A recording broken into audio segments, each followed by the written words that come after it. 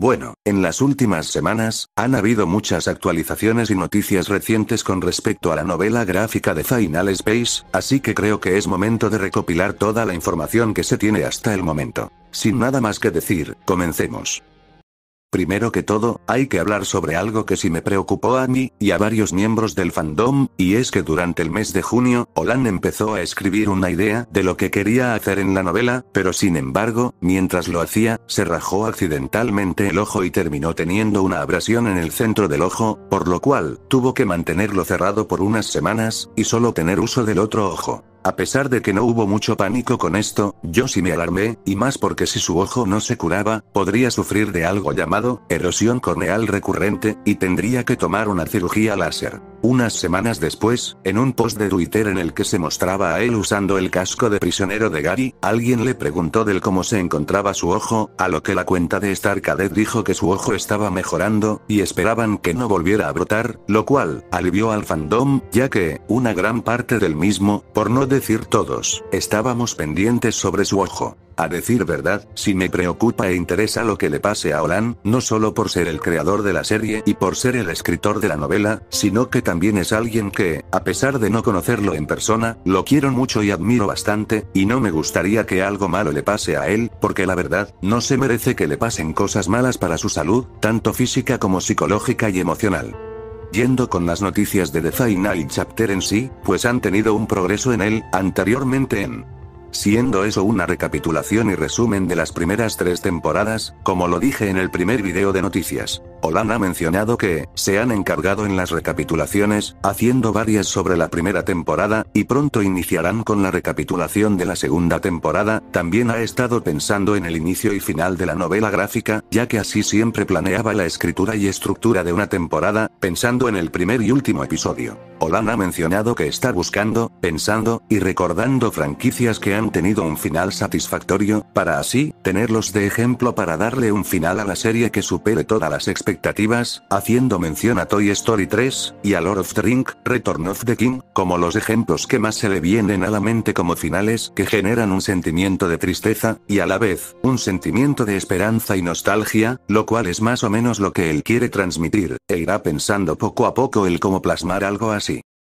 Olan ha dicho que el resumen de las primeras tres temporadas, será contando en la novela por Kevin Van Newton, mediante un Kevin algo destruido, por medio de una terminal que estará transmitiendo las divagaciones de Kevin Van Newton, ya Olan quiere que estos resúmenes sean descarados, como lo fueron en el resumen de la primera temporada, narrando las cosas que sucedieron, mientras que el personaje da su opinión y perspectiva sobre los acontecimientos, para así poner algo de comedia y autor burla sobre el programa. Sin embargo, de todas estas actualizaciones informativas, la más interesante fue que, Olan mencionó pedirle a Daz, que haga cambios en los diseños de los personajes, teniendo en mente un salto de tiempo de aproximadamente 5 años, siendo algo más que todo experimental, por lo que, la idea de un salto tan grande podría pasar, o tal vez no, pero Olan también mencionó que esa idea tan radical ha estado presente en su mente desde hace tiempo, incluso antes de que se cancelara la serie, ya que es una idea que le hubiese gustado indagar en una última temporada de Final Space, y que ahora, para poder contar todo lo que quiere contar, tendrá que haber un salto de tiempo. Por último, Olan ha mencionado que el 99% de la trama de la novela gráfica se mantendrá en secreto, y que lo máximo que mostrarán en avances, serán cosas que no arruinen la trama. Honestamente, es imposible no emocionarse con esto, ya que la idea de tener un salto de tiempo de 5 años, a pesar de no ser 100% segura, es impresionante, y más si es algo que Olan tiene en mente desde hace tiempo. Indiferentemente de lo que él esté planeando, confío en sus ideas y en lo que hará, yo sé que nos dará algo espectacular.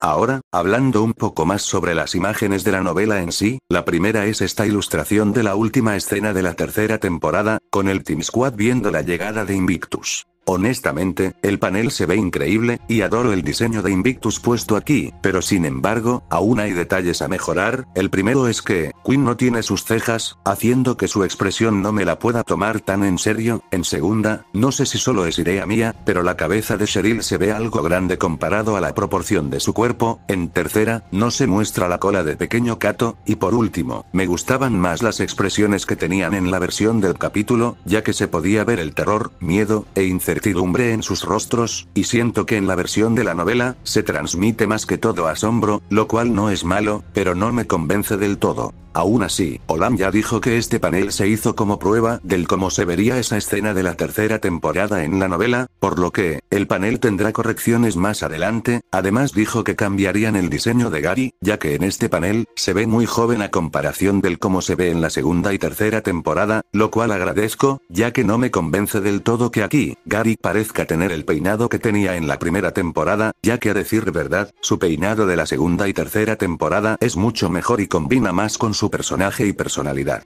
Siguiendo hablando de lo que se nos ha revelado, tenemos esta ilustración de los días de prisionero de Gary en el Galaxia 1, y debo decir que se ve muy bien la forma en cómo expresan el pesar de sus días en la nave, se transmite su fastidio y sentimiento de soledad, aparte de que la ilustración se ve genial. La tercera imagen es una ilustración del momento en el que Quinn pide ayuda ya que la nave en la que aborda está a punto de explotar, Gary la escucha, y la salva llevándola al Galaxia 1. ¿Qué puedo decir? Amo cómo se ve la ilustración aquí, se ve genial, me encantan las expresiones, y el sombreado, y eso que es la versión en blanco y negro, ya que cada página vendrá a color, por lo que esto se verá aún mejor en su versión a color, y lo seguiré diciendo, adoro cómo en la novela están dando nuevas perspectivas a escenas que ya hemos visto en la serie, haciendo que se sientan frescas, a pesar de ya conocerlas. La cuarta imagen, es una ilustración del momento en el que Gary, Quinn y Mooncake están flotando debido a la destrucción de la Tierra, mientras que Gary le pregunta a Quinn si ella quisiera hacer equipo con él de vez en cuando. Como ya lo dije, me encanta la forma en cómo están ilustrados, las expresiones y perspectivas que le están poniendo, Dad sin dudas es un gran artista e ilustrador. En esta imagen, vemos ilustrado el momento en el que Gary, Quinn y Mooncake vuelven al Galaxia 1, y se reúnen con el resto del equipo para salir de la Tierra. De estas dos últimas ilustraciones de las que hablé, ya está disponible una versión beta del cómo se vería a color, viéndose aún más espectacular. La siguiente ilustración, es el momento en el que Gary ve morir a John otra vez, mientras que él dice la mítica frase, es suficiente para mí, cerrando la brecha, y creando a Mooncake, mientras que Jack de transforma en el señor comandante. Tenemos una ilustración donde podemos ver al Kevin en el que Kevin Van Newton hará su transmisión para resumirnos las primeras tres temporadas. A continuación, procederé a traducir lo que dice el texto que están viendo en pantalla donde todo esto empezó, Gary, solo, o bueno, no realmente solo, después de todo, él compartía compañía con la incorpórea voz de Hugh, y mi más grande creación mecánica, el compañero de impedimento de locura en el espacio, modelo Kevin, y mientras que la prisión es insoportable, sigo pensando que cinco años por destruir un pequeño restaurante familiar mexicano fue muy indulgente, el poncho fue una grapa de nuestra sociedad. Además, él parece estar floreciendo en soledad, él está acostumbrado, supongo que ese desviado sentido del humor es indicativo de un pasado trágico. Él ha perdido demasiado, sobre todo en su mente. Pero no se preocupen, una criatura de destrucción inimaginable, una potencial arma de poder desconocido, llega justo a tiempo para ubicar su locura, y, bueno, para ser un tierno y buen amigo.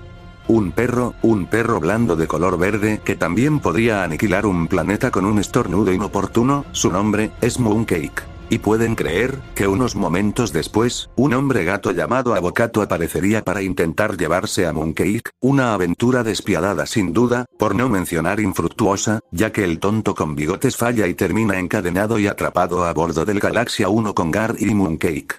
Quiero decir, ratos y perros, viviendo juntos. Los cosmos están plagados de terribles anomalías. Señor comandante es una gominola telequinética de tamaño divertido con una inclinación por la violencia y la crueldad. No a diferencia de mi ex. Ja, bromeo, naturalmente, el señor comandante está detrás de Mooncake, peor, tiene prisionero al hijo de Avocato, pequeño Cato. Jadearía si mi glotis no hubiera sufrido un daño irreparable durante mi experimento más reciente. Por último, tenemos estas ilustraciones donde hay una presentación individual para Avocato y para Pequeño Cato, que supongo yo, se muestran mientras que Kevin Van Newton narra lo que ellos vivían durante la primera temporada. Pues lo mismo que he dicho antes, me encanta el cómo están ilustrados, las expresiones faciales, y todo el empeño que le están poniendo a la novela gráfica.